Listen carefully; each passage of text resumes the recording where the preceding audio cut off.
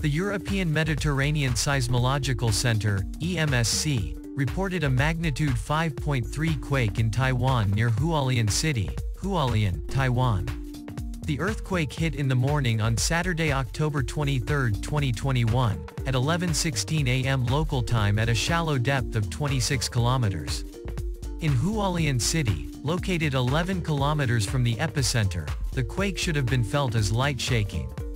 Weak shaking might have been felt in Puli, located 71 kilometers from the epicenter, Yilan, km away, Lugu, 99 kilometers away, Daxi, 99 kilometers away, Taichung, 100 kilometers away, Zhongxing New Village, 100 kilometers away, Nantou City, 102 kilometers away, and Taipeh, 111 kilometers away.